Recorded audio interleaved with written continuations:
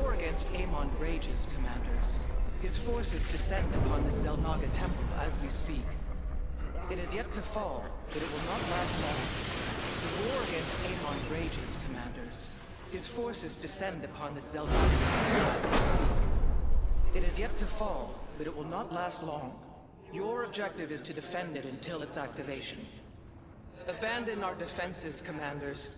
The temple is lost. Amon has won this battle.